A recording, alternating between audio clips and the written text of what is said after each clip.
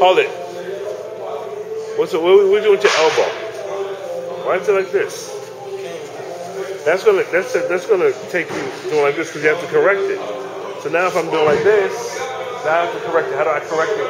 Now you, you get your brain's gonna think I gotta correct it to get it square. Right here. Boom. Here, boom.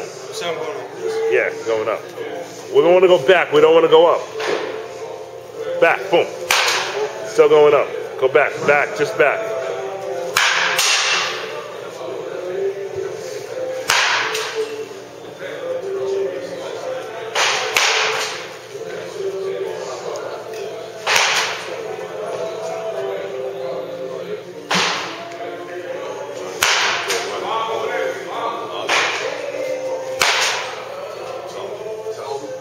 Listen, if you're gonna work underneath the baseball, drive the ball.